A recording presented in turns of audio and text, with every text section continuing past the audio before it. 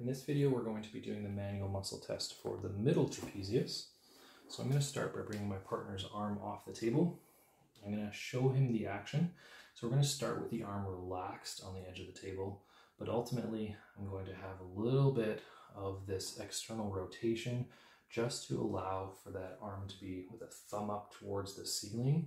And then as he elevates his arm up towards the ceiling, he's going to be doing retraction of the scapula towards the vertebrae here. So this is horizontal abduction of the arm, but retraction of the scapula as it goes through that action. Okay, so from a starting almost relaxed position, with your arms resting there, can you please go through that action for me on your own? Excellent. Please make sure while you watch that, that some individuals can just do horizontal abduction of the glenohumeral joint and the scapula is not actually moving. So what we're really looking for, and you did a good job of that, is that scapula to be retracting during that motion.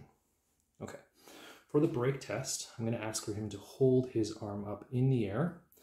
And again, I'm not gonna be pushing down on the arm itself. I'm gonna be pushing on that spine of the scapula. So I can see the spine right here. So with one hand, I'm going to push on the spine, and on the other hand, I'm going to go to the opposite side of the muscle and try to push that scapula away. Five, four, three, two, and one. Excellent. And now again, from a relaxed position, you can see my hand slid away from my other hand. This one moved. So as he brings his arm up and brings the shoulder back, there's our retraction action. So that was the concentric component of this. All right, so we're going to be going into the length now for the middle trapezius.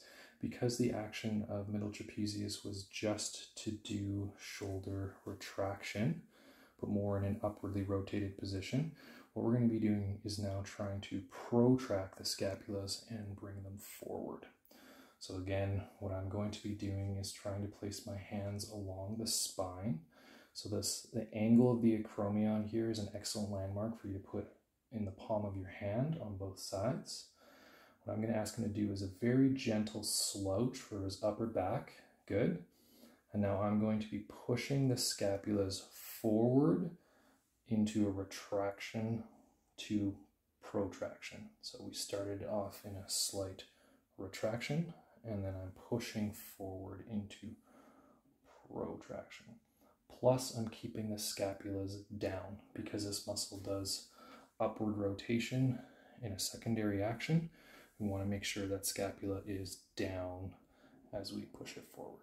So that's going to be the length for our middle trapezius.